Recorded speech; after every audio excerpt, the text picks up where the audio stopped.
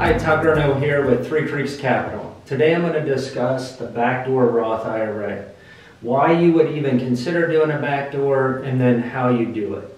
So really, this backdoor concept is for anybody that's making too much money to contribute to the Roth IRA allowed by the IRS. Okay, so in this example, you can see the IRS says if you make somewhere between 230 and 240 joint, or 146 and 161,000 single, that you're not allowed to contribute to the Roth IRA. You just simply make too much money.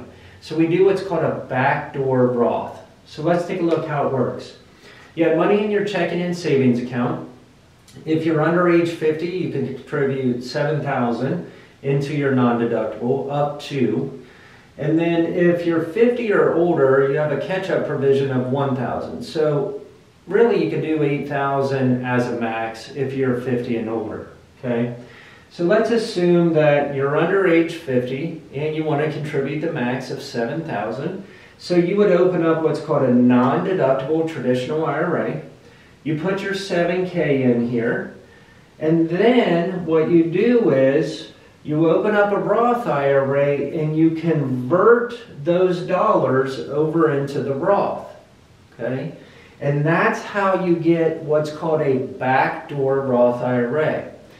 It's simple here. However, there's a lot of rules and a lot of moving parts. I would highly suggest that you contact someone to make sure you get this right, whether it's your tax advisor or your broker or financial advisor, because this is very possible to do correctly and get around the limitation. However, if you do it wrong, it could spell a little trouble for you. So you want to make sure that you do every step correctly.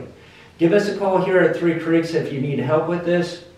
We would be happy to walk you through it and even set up these accounts for you. But that's how you do what's called a backdoor Roth IRA.